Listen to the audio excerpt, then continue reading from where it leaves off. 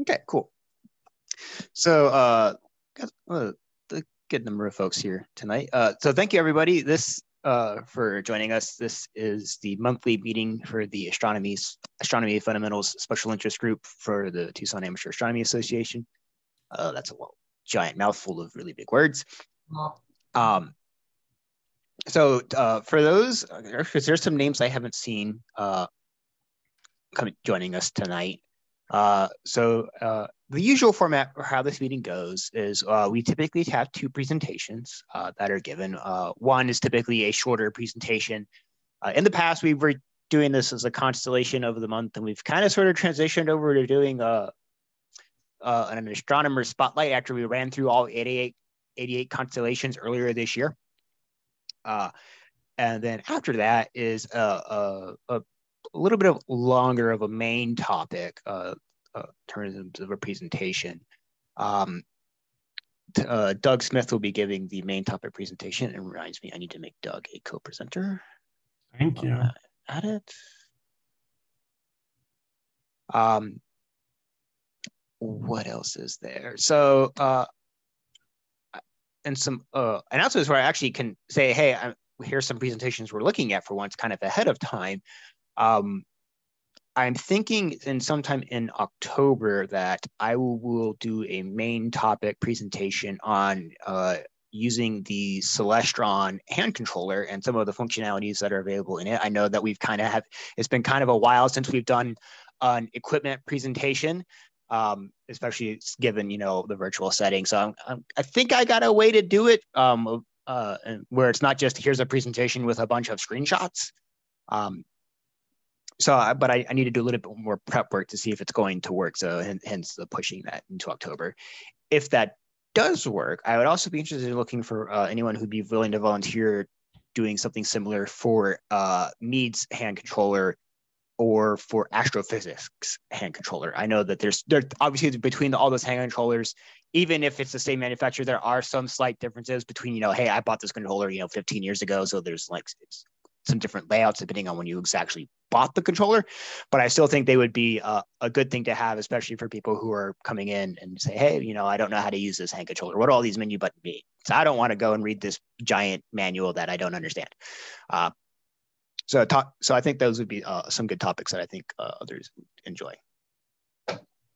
Hey, Connor. Mm-hmm. Um, are we expecting to get ever get back to doing live in person AFSIG meetings? It's at the the it'll be uh, a struggle to find a, a, place to host it, especially um, you know we obviously there's been a lot of interest in continuing to still do a Zoom presence for these meetings because we have a lot of people who are or you know, snowboards and things like that who attend these meetings now that they're virtual and they're and they can. Um, so I, I've just been preoccupied with a job change and some other just, things. I was just to, asking, are we even thinking about that? I I haven't, but I know that it's been something that's been kind of requested. I but I need to find a venue. All right. To, uh, that that's kind of the only that's the only thing is just like me finding time to go find a venue that can host the meeting. Because clearly doing talks about equipment uh, would be easier in a live venue. Well, not for for the hand controller, not use not really because it's you, right. You, but if you're but, doing, but for others, telescope in or something. Yes, for for others, there where it's not like here's this one tiny little thing. Let's huddle all around me. I agree. Yeah. Um, okay, just asking. No, it's it's it's been on the back of my mind, just not a priority because, as I mentioned, I recently started a new job last at the end of last month, so it's been kind of a a whirlwind of adventures. And so with that, I'm going to go ahead and get started. Uh, so the main, the two topics we have up tonight are, are one the, that you, the one that you can see on the recording right now is uh, about Giovanni Schiaparelli. Um, and then after that uh, will be, this should be fairly short. Unfortunately, I, I was not finding as much information on him as I actually, as I had expected. Um, I probably would have needed to go look at some physical books or his biography in the library if I could have found them. Um, and the, then after this, uh, we will transition over to Doug and his topic, which um, I'm told he, him is, should be quite interesting. Different. Eh, your words. Interesting, I hope. Different for sure. Okay. Cool. And so with that, um, we'll kind of get started. So uh, Giovanni Schiaparelli was born in March of 1835 in uh, what is today uh, uh, northern Italy and close to southern France along the French out border, uh, and what was then known as the Kingdom of Sardinia. Uh, he was his, his, mother and father were Antonio and Maria Schiaparelli, and he had at least four brothers and two other siblings. Uh, there was a lot of conf- conflict in terms of like naming his siblings because they aren't like I saw like four different names for like the same sibling and some sites were saying he had only three siblings others he had six so i'm not quite sure what resource to believe here. So take that number of siblings was kind of a grain of salt but four brothers is the most accurate that i had saw um, or at least the most consistent. Um, none of them I, no really inf- no real information i could find on anything else about his family uh, unfortunately, it, it was, it, it's kind of just a very dry bones around that, or, or even any much of his uh, uh, early childhood. In fact, uh, the first thing we actually was able to find is uh, where he uh, his uh, his when he began attending college. He, no records on any formal education before that, though presumably since he went to college, he did have some sort of formal education, especially in the 1800s he attended school. He's at the University of Turin in 1854 uh, with a focus in engineering sciences and hydraulics. So kind of a kind of a still kind of an engineering background. Uh, with him, kind of a weird transition to go from this over. Well, not really weird. An interesting transition to go from engineering over into astronomy. Uh, but nonetheless, that's what he did. Uh, shortly after getting his uh, degree, uh, the first job he had right out of school was he served briefly as a elementary school math teacher uh, before he eventually moved to Berlin in 1857. He studied for two years at the Berlin Observatory, uh, working on, oh, I would I assume it was a PhD. It's not really clear if he was doing this as a job or doing this pursuing a graduate degree at the time. But I, I know that, you know, prior to like the 1870s or 1900s is kind of when they changed a little bit in terms of like the graduate school versus undergraduate school for universities. Uh, uh, uh, but he uh, centered under a name that uh, might be familiar to some, uh, Joseph Franz Encke. I know that he's come up in some presentations from us in the past, but I don't remember off the top of my head where they were, but I do recognize his name. And then after his two-year stint at the Berlin Observatory, he took a jaunt over into St. Petersburg, where he spent some time at the Pulkovo Observatory. Uh, not quite, not really any records I was able to find in terms of exactly what he was studying at these at these two observatories. Uh, but upon his his completion of a year at Pulkovo, he returned to Italy in the 18, in 1860, where he took up position at the Brera Observatory in Milan, where he remained at the observatory until his retirement in 1900. Uh, one other thing to note, which I didn't actually put on the slide, uh, is he also, about two years after joining the Brera Observatory, he became its director. So it's kind of a, a, a really big leap there. Uh, so his first uh, big noticeable work is he uh, discovered uh, the asteroid Hesperia in 1861. Uh, this is a main belt asteroid. I, I can't remember its diameter off the top of my head. I wish I had actually included it in these slides. Uh, uh, and some other notable works that he did is he was one of the first people that managed to show that meteor showers were the remnants of the comet trails. Uh, uh, and he uh, used what is the what we now recognize as the Perseid Leonid showers, as well as the which originated from what was then documented as the comet of 1862-3 and 1866-1, uh, and, and, showed that those two comets were directly correlated with the meteor showers and their after effects. Uh, he also uh, provided some of the first real estimates for the uh, rotational period of the planets Mercury and Venus. For, because this is always one of those weird things for us, just like rotational period. So this is it the day or the year, and this is the day, is which we're talking about here. Uh, he first calculated uh, Mercury's day to be around 87.9 days. Uh, this original estimate was based on him assuming that, like Venus, Mercury was also tidally locked to the sun, which we now know is not true. The actual estimate for the actual current estimate for how long Mercury's day is is 59 Earth days. Uh, and this was actually not an official estimate. His the original estimate for Mercury's dateline actually kind of stayed in the 80s until 1865 when the Mariner probes, I think it was the Mariner probes, uh, first 65. 1965. Thank you. said 18 day. Yeah. Uh, I'm off by 100 years. anyway, uh, when in 1965, when the Mariner probes uh, visited Mercury, it was able to get a more concrete estimate of its age from radar telemetry. Uh, he and his estimate estimated for Venus's age was actually a little bit short. He was still surprisingly close, you know, in terms of like fractions of a percent. Uh, estimating it Venus's day to be 224 days of the actual current accepted estimate of 243. So uh, pretty good estimates for you know tools and technologies of the day, especially since he was working from the ground without any of our you know satellites or radar or, or anything that we had to kind of pay for that. So pretty good estimates, I would have to say. Especially, especially when since Venus has a thick atmosphere and you can't see any surface markings. Mm-hmm. And also uh, considering how little uh, definition you can get off of Mercury, even as scopes that we have today, with what I can't remember what he was working as. I think the Milan was like the Brera is a 20 inch or a 40 inch.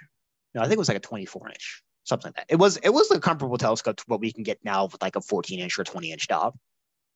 Um, so if, if, you've ever looked at a Mercury with a with the scope like that, you know, you know, even then you still don't get a lot of surface definition. So how you're able to recognize a day uh, from that uh, is quite impressive. Uh, but his main claim to fame was a lot of his work on Mars. Uh, his uh, initial, what kind of stirred all this up, of actually is attributed to what was a uh, mistranslation of his works. He, uh, uh, his initial observation of the planet led him to actually creating one of the first surface maps of Mars, which I have on the next slide. Name and you know being the first of for being the first at something, you know, you get to name a whole bunch of stuff. So he named what uh, I think some of the some of the search features still bear his original names today, but I couldn't find a list of which ones that actually do. Uh, naming the quote unquote seas and continents of the planets, because you know back then we assumed that Mars was like Earth. We now know that's very much not true. Um, uh, working within the visual telescope. So uh, where where his controversy, not really controversy, but where his uh, claim to fame stems from, uh, came from an observation tour he did uh, during Mars's Great Opposition event in 1877. Which, uh, for, for those who do not fully know what an opposition is, that is the period in a planet's orbit when it is closest to the Earth, which also means it is the brightest and largest that it'll reach uh, with a great opposition signifying that it is a, an unusually close approach, uh, which I think, which uh, if you were aware of it, we had a similar event uh, of Mars having a great opposition uh, in 2020. Uh, this close approach and his gears allowed him to observe what he wrote as a dense network of structures on the surface of Mars.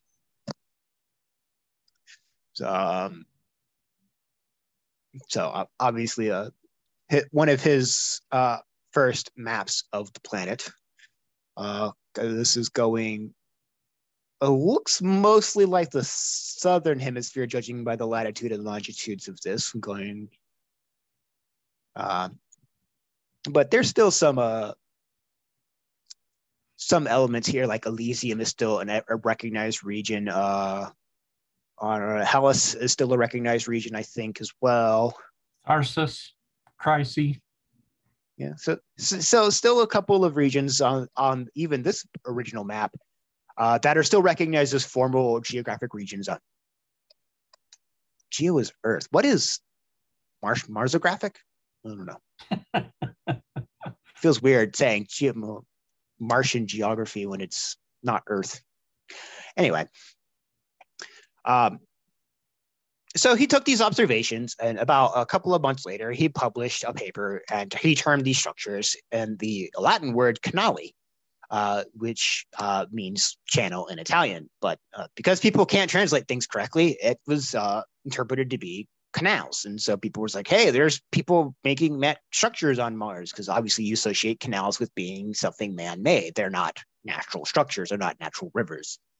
Um, so this this led to a whole bunch of speculation and uh, quote unquote professional research uh, where people were just like, hey, yeah, there's aliens there uh, for a, a, good period in the late 1870s and up into the 1890s. So uh, it wasn't until the uh, following opposition in which was not a great opposition. It's just the next sequence of uh, the next opposition in 1879 uh, where people actually were just like, oh, hey, no, you're right. You're actually seeing something uh, there on the surface of Mars. Because people were just like, you're, you know, they thought he was crazy at the time too. It's like, you didn't see anything. Those were artifacts. They aren't there. Maybe it's something wrong with your telescope. So they actually had, you know, like all good scientists, they do a follow up campaign where they say, hey, yeah, we can reproduce this. So, um, uh, you know, this upon confirmation is presented a, a a great deal of uh, research about water and life on Mars and what sort of life was there.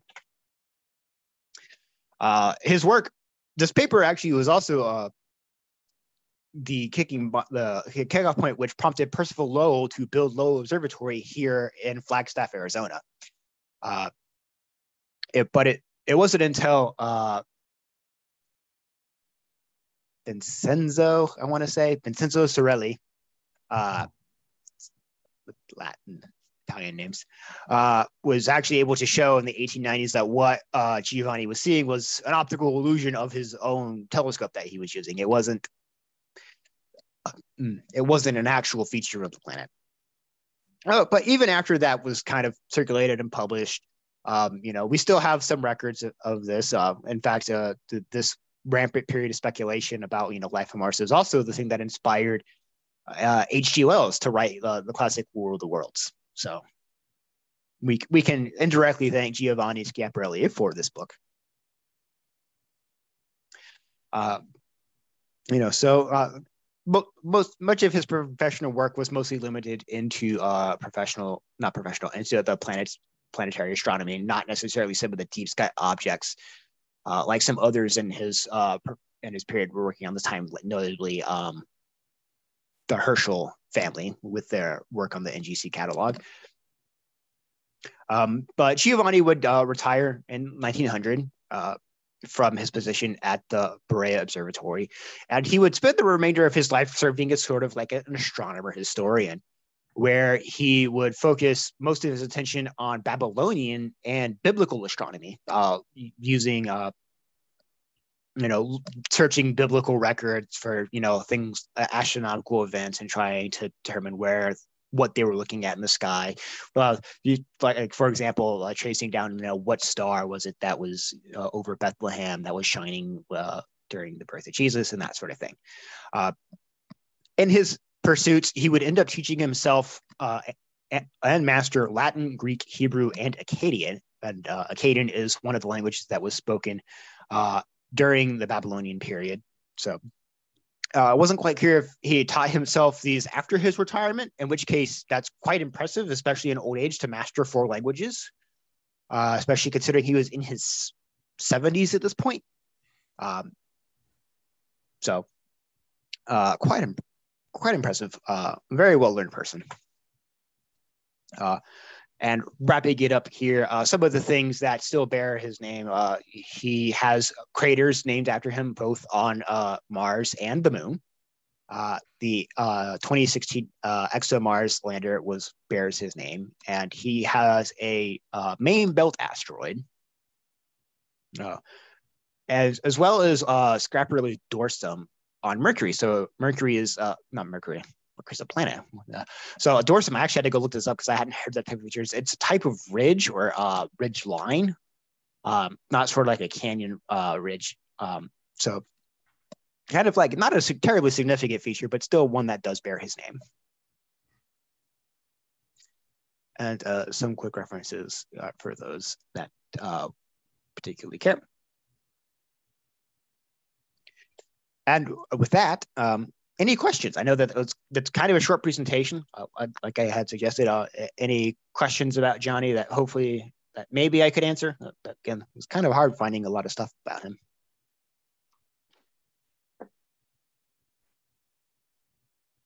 Did Schiaparelli uh, communicate at all with Lowell?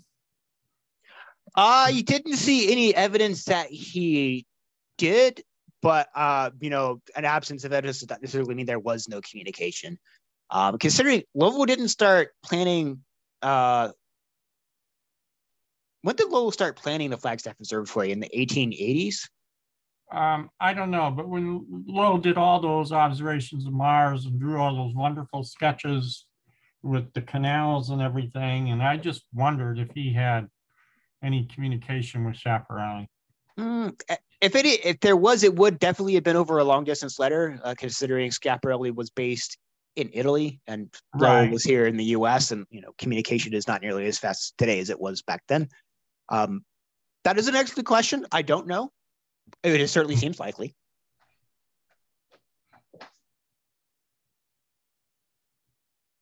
Any other questions? Okay, cool. So with that, Doug, I will turn it over to you. Okay, let me see if I can do the screen share. Oh, there it is. I'm taking a quick AFK to get me something to drink. Yeah, take your time. There we go. Okay.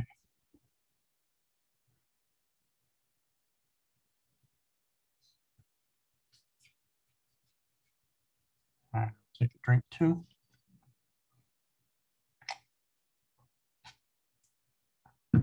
Okay. So this presentation is going to be a little bit off the track of what we normally do, but I'm hoping we'll have some fun with it. Um, I actually would like people to unmute because I want to have a little bit of interaction while I'm going here. Because I'm going to ask people questions. Uh, maybe they'll answer back. So, uh, well, as always, I start my presentations with a bit of humor. Well, I found this one. So what I think I see, what the neighbors think I see, what professional astronomers think I see, which is absolutely nothing, and what I really see, all very different. I like that. I think it's appropriate too. so, so this presentation has got some history in it, and I love to do astronomy history stuff and so this has got some history in it. Um, for those of you who don't know what you're looking at, this is the Flandrau Planetarium at the University of Arizona. Um, most of the people who live in Tucson who are attending, who are online right now for this presentation have probably been here. Am I right? Yes. Everybody's been here? Has yep. it, how many of you people have gone into the planetarium recently. Does that include going to using using the restrooms during the? Uh, yeah, I mean, you walked in the door. Book you, fair. you you you looked around, yeah. and somebody has, right? Okay, so so if I remember right, last time I was there, there was a, there was all kinds of different exhibitions in the area in the in the front lobby, and there was a painting mm-hmm. on the wall that showed a picture of the space shuttle and other trivial stuff. Anybody remember what was in the lobby prior to 1994? No. Bet I got a no out of that. I think there was a big meteorite, piece of a meteorite. Yeah, there was that, but there was something else in the lobby. Moon rock. A big, big painting oh. in the lobby. The same place where the painting is today, but today it's all nonsense stuff, not very important. Now, there was a different picture in there prior to 1994. So a little history. Tell us. Yes. The Flandrau Planetarium opened in 1975, and it was originally commissioned to be built about two years before that. And as part of the commission to build the Flandrau Planetarium, which at that time it was part of the University of Arizona Astronomy Department, the University of Arizona commissioned a local artist named Donald Cohen to paint a special mural just for the planetarium, an astronomy related mural for the planetarium. Um, Donald Cohen, if you go to the Optical Science Center at the U of A, he's got a number of sculpt sculptures and some other paintings that were done at, at the request of the University of Arizona, and they're still there in the Optical Sciences Center. Our big special mural that I am talking about that was in the Flandrau Planetarium from 1975 until 1994 is no longer there, obviously. It currently resides at the Tucson Convention Center. And I had to go find it. There it is. It's called Man in the Universe. And what I find very interesting about this mural is it has a load of information about the history of astronomy in it. And I have a copy of one of these hanging on my wall that I picked up when I visited the University of Arizona in 1976. Hmm. Where did you find it at the community center? It's it's I had to dig around. I had to I went online and looked up the history of this mural, and there is a little bit of history if you look up the artist name Donald Cohen. You look Mhm. down in the bottom right corner here. Uh, right there's his signature for the mural, John Cohen. And Okay. if you look up his history, you'll find one or two lines about this mural. That's all you'll find. And it says in there that the mural currently resides at the Tucson Convention Center. So I contacted the Tucson Convention Center and got a hold of one of the um, public relations manager people there. And she said, Oh, yeah, there is a mural that's we got from somewhere. She couldn't remember where we got it. And she said, Yeah, it's hanging up in above the doors in the West Gallery. And I had to get special permission to enter the convention center during when there were no events going on. And they let me in, and they're doing construction down there right now, but they let me in and let me take pictures of it. And this is here it is, it's hanging on the wall. No, that's. I'm sorry. I'm oh, sorry, Doug. Did you see how big it is? It's about, forgive me, Much my brighter. security stuff just kicked off. Let me close this out fast. It's like 14 feet by eight feet or something like that. It's a pretty Okay. good sized mural. All right, you know, when you look at this mural, you're supposed to start in the bottom right corner and go around it in a clockwise fashion. Uh, that's the general direction that you go if you want to go with time. Time advances clockwise, which is kind of what you'd expect, right? But Mhm. the names in here, the people that you will see, just everybody. So like here, this is supposed to be an indication of primitive man. They're, he's look, they're looking at the sky, but they're scared of everything. They're scared of the darkness. They don't understand the heavens. They're scared of the heavens.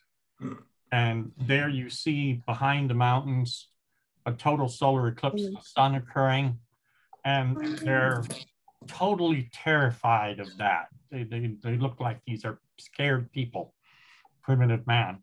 But you see this man on the ground here on the left. He's holding a tool, a primitive tool, and he's crawling towards the, if you like, more civilized part of the mural. He's kind of moving in that general direction to the towards the more civilized area of the mural. So you could look at it that way. Right next to him, Stonehenge. And Stonehenge, we all know, has some astronomical connections. It aligns with the summer and uh, solstice and the winter solstice, and it has other features that are astronomical in nature, and that's pretty old too. Probably about 5,000 years old, and, and so the people at that time were paying attention to the heavens. Um, probably using um, as guidelines for when to plant crops and when to harvest crops and other stuff of that nature. Moving a little farther to the left, we're getting into the um, first, what you'd call civilizations, advanced civilizations, ancient civilizations. You got the Babylonians, and the Egyptians, and here you see Egyptians building the pyramids. You see an Egyptian engineer here who's taking alignments with some kind of a tool, but they used the stars and the suns to align their monuments. And they paid a great deal of attention to the seasons and they measured the seasons with the stars and the sun and the moon. And down here in this corner, there's a, this is an old model of universe, if you like. You've got a flat earth um, with a sea that surrounds the land that the people are on. And you could fall off the edge of the sea. And you've got an underworld underneath that down here. And then you've got things in the heavens that are arcing overhead. And it's that's that's their model of the universe, if you like. So, but they were paying attention to the heavens. And then over here, this whole side of the mural from top to bottom over here on the left side, I'm just going to call here are the Greeks. And we have a lot of famous name Greeks. We have Euclid, right here. We all know what Euclid did. He invented modern geometry. And here's a perfect example. He's got a pyramid with a circle embedded in it. And then he's got some other text here. And then here's one of my favorite Greek guys, a Greek astronomer, Eratosthenes. He was the first one to come up with an accurate measurement for the circumference of the Earth. if you remember last month's presentation on, um, what was it, that Pete did? Was that you, Pete, that you did that last month? No, not me. Oh, somebody did a presentation on uh, something. Um, but Eratosthenes, he, he he was the one who made an accurate measurement of the Earth. And oh, I'm sorry, that was at the general meeting last just the other day. Oh yeah, the archaeoastronomy. Yeah, yeah, yeah. Uh, he he he noticed that, or he had read in in a manuscript somewhere that if you had a, a twice a year, or sorry, once a year in the summer solstice, at at, at where where is currently modern day Aswan, Egypt, the, the bottom of a well was completely lit by the sunlight. That the sun was directly overhead. But farther north in Cairo, a, a, a stick in the ground cast a shadow. He was able to measure the angle difference between the shadow and vertical determined it was something like one twentieth or one thirtieth of a of a circle, and deduced that that represented one thirtieth of the circumference of the Earth, the, the distance between Aswan and and uh, Cairo, and he measured that distance out. He actually had someone pace it, walk the entire distance, and measure it in paces, and he paid them to do that, and deduced an accurate measurement within 5% of what the actual circumference of the Earth is. So he deduced that the earth was round and deduced the circumference. So he's one of my favorite Greek people, Eratosthenes. I like that name. Um, right above Eratosthenes uh, is, let's see, more Greeks. Could be Ptolemy. Uh, I think you're right. I'm not sure. I got to. He's got his diagram of the uh, solar Yeah. system Yeah, that was Ptolemy. with the You're Earth at the center. Yep, yep. I got it. Eratosthenes. Da, da, da, da, standing. Yep. No, that's not Ptolemy. That's Hipparchus. Hipparchus. This gentleman here is Hipparchus. And Hipparchus, um, in addition to developing a stellar catalog, he also came up with the idea of uh, what we call epicycles to describe the motion of the planets in their orbits. They didn't yet know that orbits were uh, ellipses. They, they believed that orbits were circular. And he used this notion that on the big circle of the orbit, there were these smaller, what they called epicycle circles to describe the motion of the planets that you see in the sky. And that was one of the things Hipparchus was famous for. More Greeks. Up in the upper left corner, you have Plato, and right in front of Plato, the big character is Aristotle. And Aristotle was holding a model of the universe that's a celestial sphere with the stars on a sphere and the planets all circling in orbits. And the Aristotle model had the Earth at the center of the universe.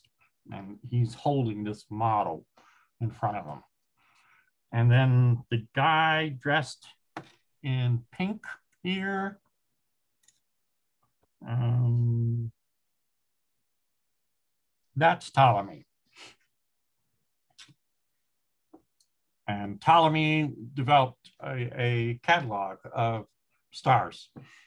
And he also was very big on epicycles. So you notice that both Hipparchus down here in the bottom left here and Ptolemy are both pointing to this diagram because they both had a lot to do with the epicycles of the planet rotation.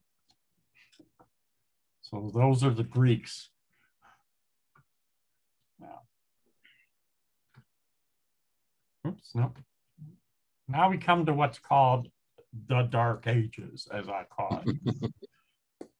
right here in the center of your image, right there, that's the burning of the Library of Alexandria. And that is what you would consider the start of the Dark Ages. Um, that represented a tremendous loss of knowledge to humanity, probably a thousand years or more. There was, I mean, you could, there are just a few remnants of some of the original scrolls can be found in various museums. But from those remnants, you, you get an idea of what kind of knowledge was in this library. For instance, there was a book that was written by various Greeks and other people that deduced that the planets did not orbit the Earth, that the planets orbited the sun, that the sun was a star, and that the stars were extremely far away, too far away to measure a parallax in those days. And so they consider them, and that the speed of light was not infinity, that it was some fixed speed, but very fast. All of that knowledge is true. And yet it took, what, another 1400 years for it to get rediscovered by Europeans after it was all lost when the library was destroyed. Doug, what precipitated the uh, destruction of the library? What, what was the cause? Julius Caesar? Oh, okay. So it was intentional. No, it was not intentional, actually. It Oh. was accidental. Julius Caesar was under siege in Alexandria, and um, he decided to burn the Egyptian fleet, which was in Oh, the okay. port of Alexandria, and the fire spread to the library. Okay. And being soldiers, they didn't do firefighting duties, so the library burned. So that's that. Um, now, some knowledge was preserved during the Dark Ages. Um, you notice standing here is a Chinaman, Chinese gentleman, who he's actually using some kind of an instrument.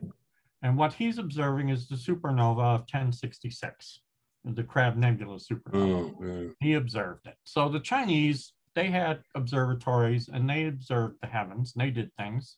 Also, throughout the Muslim world, there were there were Muslim scholars and, and philosophers who also preserved some of the scientific knowledge during the Dark Ages. The Europeans didn't go in much for the scientific knowledge. Basically, uh, religious zeal took over for logic, if you like, and and uh, anyone who was a free-thinking person who didn't agree with um, literal translations of the Bible could be accused of heresy and burned at the stake. I mean, uh, the logic went out the window during the Dark Ages uh, in Europe.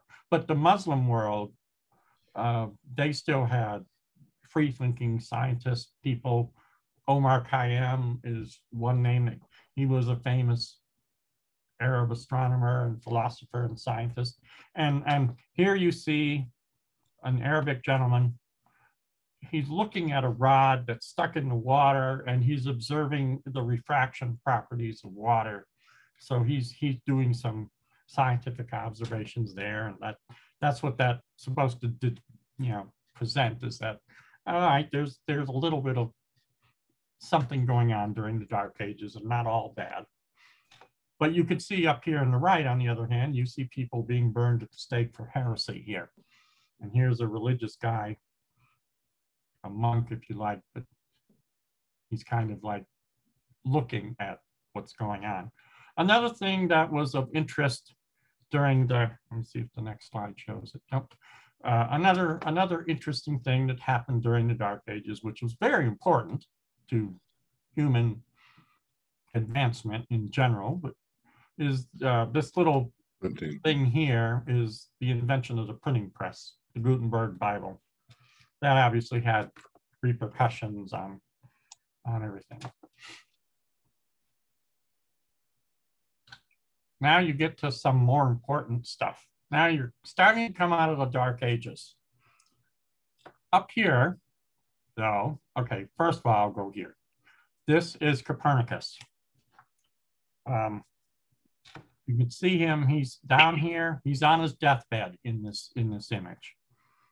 And he is holding down here with his right hand, he's holding a manuscript drawing of the planets revolving around the sun.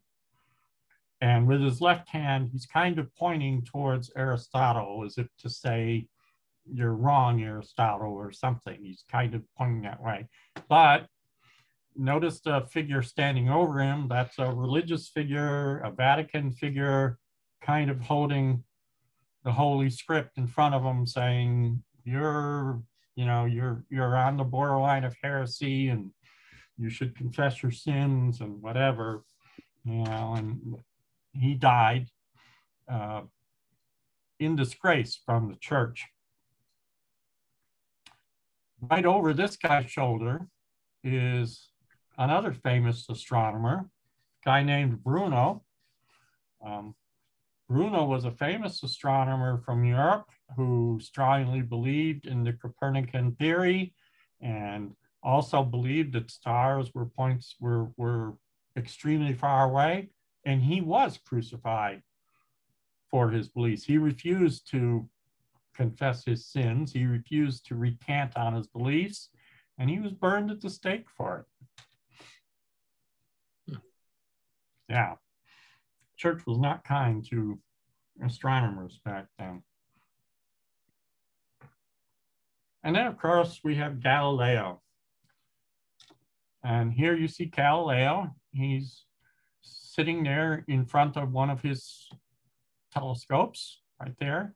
He also has, he also builds a mechanical clock and there's a mechanical clock. And here's a, uh, or what do they call it? An Orion sphere where you can get the planetary orbits and, and stuff in this map out like a, a globe.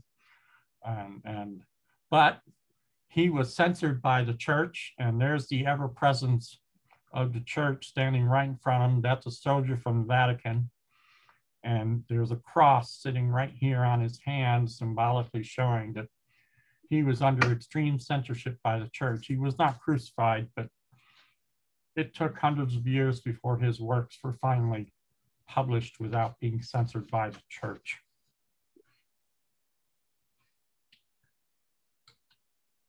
And then you move to a different part of Europe where the church isn't so powerful, and you have these people. You have Johannes Kepler right here. And he was the one who deduced the orbits of the planets as being ellipse, ellipses and came up with Kepler's laws of planetary motion. And down here on the table is some of his paperwork and diagrams from some of his original manuscripts.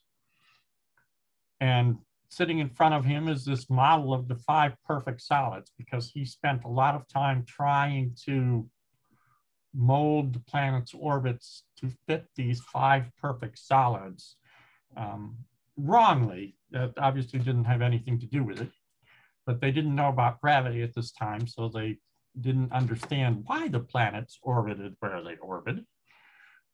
And Tycho Brahe is the guy who's standing over his shoulder because um, Kepler used the observations of Tycho Brahe to deduce the laws of planetary motion. Okay, and then standing next to both of them is Isaac Newton. And uh, Isaac Newton, there's uh, in front of Isaac Newton on the table is the telescope that Isaac Newton built, little reflector telescope that is now named after him. It's called a Newtonian reflector, which is a common telescope today. Um, and Newton is symbolically throwing a satellite into orbit with his hand. Uh, kind of a way of showing that he deduced gravity and, and now you can understand how a satellite goes in orbit. So I figured that out. And behind him is an image of Halley's Comet because Newton was the first one to actually predict when Halley's Comet would return. Based on his theory of gravity, he was able to predict when the comet should return, and it did return right on schedule. And back in the background here is one of William Herschel's telescopes, Herschel being a great observer of many different things in the night sky. Those are important characters. And down here, this is a gentleman you probably wouldn't normally think of as related to astronomy, but is very much related to astronomy. That's Fraunhofer, uh, who invented the spectroscope.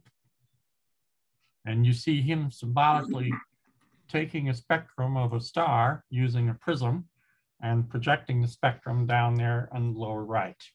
And obviously spectroscope is one of the most important instruments that astronomers use.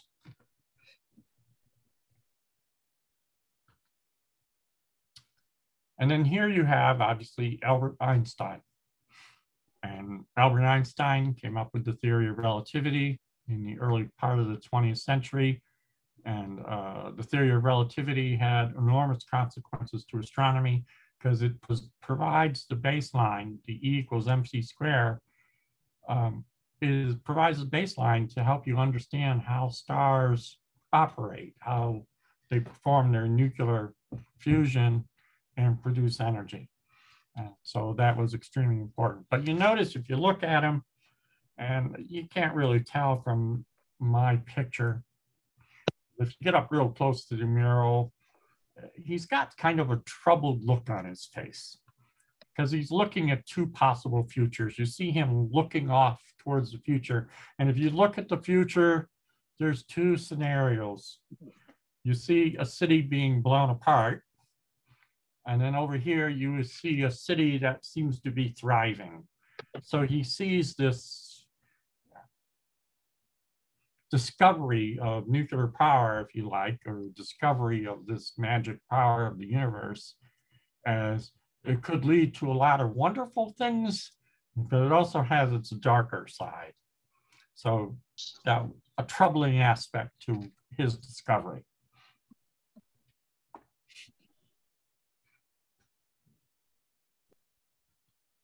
Then you come over here to some more modern people. And I have got to get this out of here. Oops. Um, so over here, you see some more modern, interesting people that we think of today. Uh, first of all, one thing you might notice is this telescope right here. That is the 100 inch Hooker telescope on Mount Wilson. Okay. This gentleman here, this is Harlow Shapley. And this gentleman down here is Eugene Curtis. Um, these two astronomers of the 20th century were responsible for one of the what they call the Great Debate, which was they debated whether uh, nebula, which is that which is at that time that's what galaxies like Andromeda Galaxy or or uh, the Pinwheel Galaxy, all these galaxies that we now know today are galaxies. Back then, they were called nebula, and there was a great debate about whether these nebula were part of the Milky Way or, or outside the Milky Way. Harlow Shapley believed they were part of the Milky Way, and Curtis argued the other way around, that they were not part of the Milky Way. Curtis obviously won the argument, but they're holding a picture. They're both holding this picture of M31, the Andromeda Galaxy. As that's their debate. Up here above them is Edwin Hubble, who basically settled that whole argument about the galaxies were outside the Milky Way. And he is shown symbolically measuring the size of the Andromeda Galaxy right here. And here, the only woman in the whole mural, we should all know who she is. I've given a couple of talks on this woman. This is Henrietta Leavitt who she discovered the relationship between Cepheid variables period and their absolute magnitude, their luminosity, what they call the luminosity period relationship, which is key. It's one of the cornerstones for measuring distances to objects outside the Milky Way. And she's holding in her hand a picture of the large Magellanic cloud because that was her prime object that she studied to derive that uh, period luminosity relationship, if you like. So, okay, so I reached the, and, and some other things in the um, mural that are interesting is, um, that's actually the last slide. Oh, no, it isn't. Okay.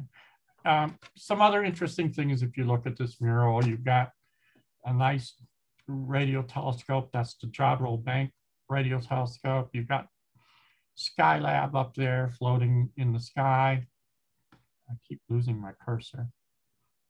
Um, and another thing that's symbolic about the mural is if you if you look, if you start here in the bottom right and you go around, uh, each of these little vignettes, if you look at the sky background in each of these vignettes, it's usually cloudy and hazy and you don't see much until you get into this area where you start getting to Kepler and Newton and, and people like that. And then all of a sudden you're seeing the universe in the background is actually coming through.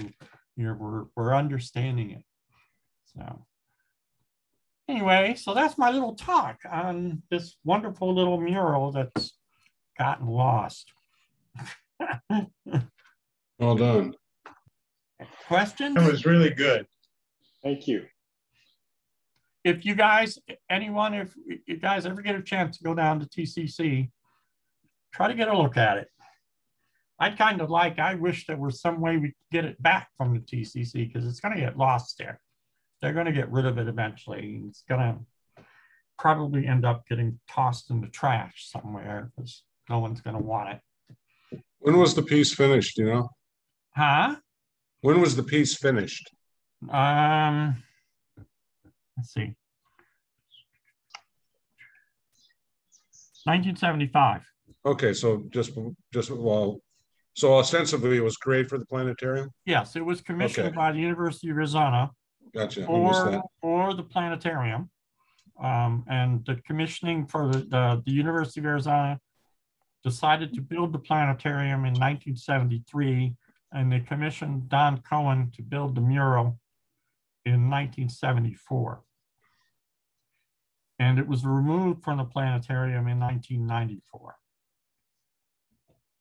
Were you able to determine why? Was it just so the, uh, Flandrau wanted to redo their interior and, Well, so from what I gather, when I talked to the people and, and asked them about it, first of all, there aren't many people who even remember it. Um, no one at Flandrau remembers anything about it. So I had to dig a bit. Um, they did a major renovation on the planetarium in the early 1990s. And part of that renovation was it's, it, it's no longer part of the astronomy department. It is now oh, okay. just. University of Arizona Flandrau Planetarium and Science Center. Okay, so it's no longer associated with the astronomy department. And as part of that renovation, they did a whole lot of remodeling on the inside, new projectors for the planetarium and all kinds of other things. They decided to do a thorough changing of all their exhibits to make it more, um, the word I guess you would use, and I hate this phrase, family friendly. Yeah, Wow. And so they kind of turned away from being a special planetarium for astronomers, which it was, because I remember going there, like I said, I remember going in there in 1976, in 1976, and there was nothing in that planetarium except stuff about astronomy. oh, okay. There there were no exhibits related to the space shuttle or the space program. There were no exhibits about dinosaurs. There was no exhibits about geology, no exhibits about insects. If you go in there today, you will find all of those. Okay, it's now just really a science center. And the only reason they still call it a planetarium is because it still has the planetarium. Okay. Um, but it's really a science center. So they did away with the astronomy, you know, theme that they had, and they switched it over to this more family-friendly science center. And I'm sure with good reason in terms of they wanted to attract more people, classrooms, students, etc., from all the schools in the area and stuff come out and visit where.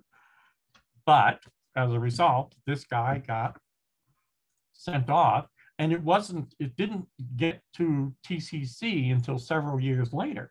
It actually sat in storage for a long time Mm, and then was donated to tcc now when i went down to tcc and talked to these people that lady that gave me permission to get in there and take the pictures she didn't even know what it was she didn't know that it had anything to do with Oh. astronomy at all she just said oh yeah, there's this mural that looks like it's about the evolution of man. It's like, well, I'm sure that's the one. And she said, yeah, it's got a couple of telescopes on it. And it's like, that's the one, you know. but I'd like to see it.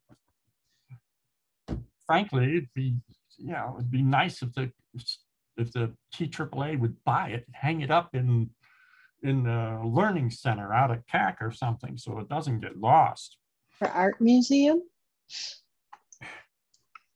And go to an art museum maybe? I don't know. I What is don't the know. medium, Doug? It's it's uh Is it oil on canvas, I oil on think it board? is. I think Okay. it's oil on canvas. I I couldn't get that close to it. And I don't remember when you in in the seven when I went there in 76 and saw it, you could get right up close. I mean within three feet of it. Okay, because it was on the hanging on the wall at eye level. You could get right up there next to it. Okay. Um, but I don't remember. Uh, but I, I'm thinking it's oil on canvas. Okay. So, yeah, I'd like to see it get away from TCC because they're they're not going to they don't even know what it is. They don't understand it. It- The Learning Center would be a good place. Yes, it would be a really nice place. And I'm sure it would fit. I didn't, you know, I don't think it's that big. Uh, it's, it's like 14 feet by eight feet or something. I'm sure we could find it. I- That learning center is big enough to hold it, I think, somewhere. I, I just would hate to see this thing disappear because I, I don't know of any other paintings or works of art if you like, that have all of this astronomy that are astronomy themed in this way. You've got all the important characters.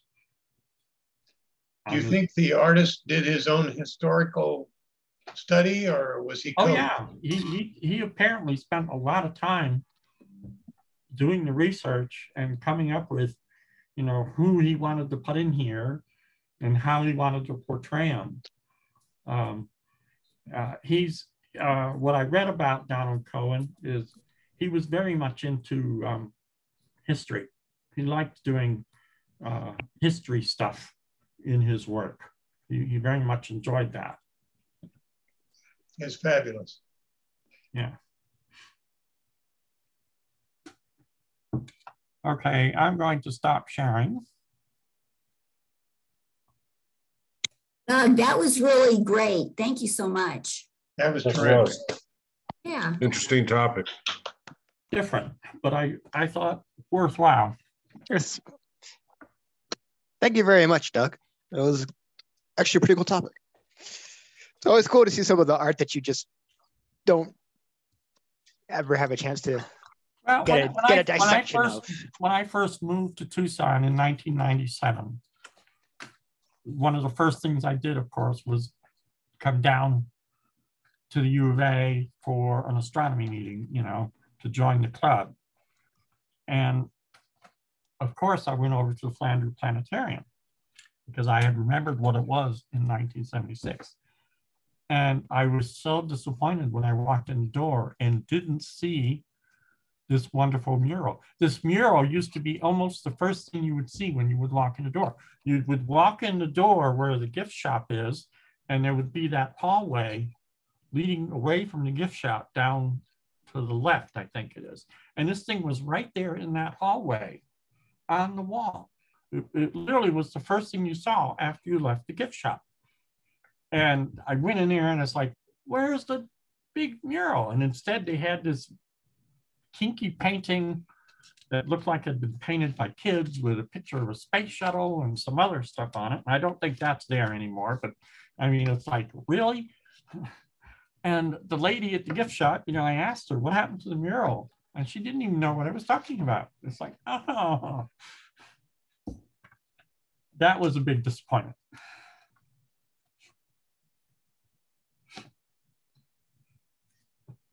We need to figure out how to get our hands on this. Yes, I agree. Cool. Uh, and uh, with that, I that kind of wraps up this month's meeting. Um, so, Doug, for next month, I have you down as doing lunar craters still. Is that still the case? I can do that. And uh, Pete, I know I had you down for uh, as a tentative for September as well on a topic. Yeah, what's, um, I was thinking of doing Ptolemy. And, uh, why don't you put it in for September? I should be fairly clear on my schedule. If I run into a problem, you know, I'm on the road right now, I can still participate and make a presentation. Just if something untoward happens during a certain day, but, uh, especially since I'm two hours east of you, it was a lot easier to get on tonight with my schedule. So, yeah, why don't you, why don't you pencil me in for, uh, the September meeting doing Ptolemy, if that's okay? I have you down for that. Okay. Um, cool. And uh, also, um, I'm not going to be able to host the December meeting. I will be in New Zealand. Um, Yeah, so you just have to get up a little earlier, don't you? No, you, that'd be it's a, it's for an it's it's an 18. It's like a 16 hour difference. Oh, really? Connor, New Yeah. Zealand in December. You should get some decent weather for observations down there. Oh, yeah. I it, Summer. it'll it'll depend. Um, I know it's summertime. it well, it will be. It's just a matter of am I going to be in a dark enough spot, Scott sky position to go do it? Because I'm going to be back. I'm going to be backpacking in New Zealand and Australia with my brother. Okay. So Well, uh, you know, I'm take obviously some- not going to be carrying around a telescope with me. Um, but I do. binoculars. I, it's one of the, it's one of those travel light things. I will have my camera and a tripod on me, but that it's anything more than that is, you know, I need to have room That's- for souvenirs and things. Um, tiny binoculars. Yeah. Well, um, I will be trying to get a picture of the Magellanic clouds because I know that they're in a observable position that time of year. True. Uh, so that's going to be the big thing I'm target. Um, and Doug, I know that you typically take a cruise around that time of year. Uh, we don't have anything scheduled yet, so Okay. Okay.